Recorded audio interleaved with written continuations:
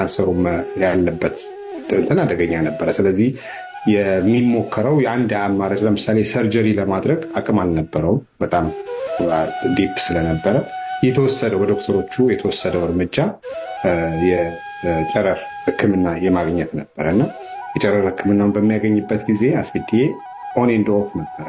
አንዴ ደህና ይሆናል፣ አንዳንዴ ደግሞ የካንሰር ሕክምና ትሪትመንቱ በጣም ከባድ ነው፣ ይደክማል፣ ኦክሲጂን ያጥረዋል። እንደገና ተመልሶ አይሲዩ ይገባል፣ ይወጣል። በዚህ ሁኔታ ላይ ነው የነበረው። የተወስ ሲሆን የሆኑ ጊዜዎች ላይ በጣም ተስፋችንን ይጨምረዋል።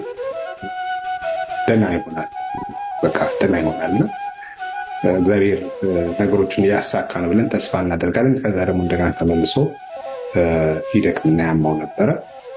የሚገርመው የመጨረሻዎቹ አሁን ባለፈው ሳምንት ደህና ነው የነበረው። ከአለፈው ሳምንት በፊት አይሲ ውስጥ ነበረ።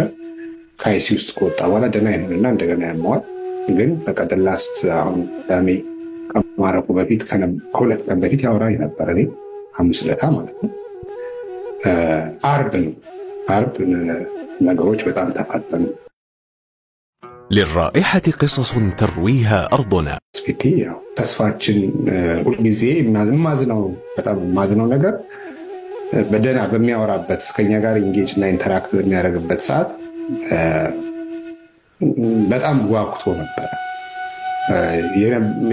የህዝቡ ፍቅር ከሚጠብቀው ከሚያስበው ከሚገምተው በላይ ነበር እና በጣም burden ሆኖበት ላዩ ላይ ይህንን ህዝብ ይህንን ጨዋ ህዝብ ስቱዲዮ ገብቼ የማመሰግንበትን ቀን ያቅርብልኝ ይል ነበር እና only regret I have ያ ቀን ቀርቦ መጥቶ ህዝቡ ጋር ቀርቦ ደስታውን ቢያሳይ ደስ ይለኝ ነበረ። ከዛ ውጭ ግን በጣም እርግጠኛ ሆኜ በደንብ አጽንቼ መናገር የምፈልገው አንድ ነገር እግዚአብሔር አስፊቲ በጣም እድለኛ ሰው የሰው መውደድ እጅግ በጣም ትልቅ የሰው መውደድ ያለው ሰው ደግነት፣ ርኅሩህነት፣ የዋህነት፣ በጎነት ዋጋ እንዳለው ያሳየን ሰው ነው። አስፊቲ የራሱ የሆነ ስታይል ያለው ሰው ነው። በጣም ጎበዝ ጋዜጠኛ ስለሆነ ታዋቂ ስለሆነ የጋዜጠኛ ጆርናሊዝምን ስለቀየረ አይደለም ሰው የወደደው። ጽድት ያለ ንጹህ ልብ ያለው on screen ም off screen ም ተመሳሳይ ስብዕና ስላለው ነው እና እንደዚህ አይነት መወደድ እንደዚህ አይነት መከበር ማየት መቻል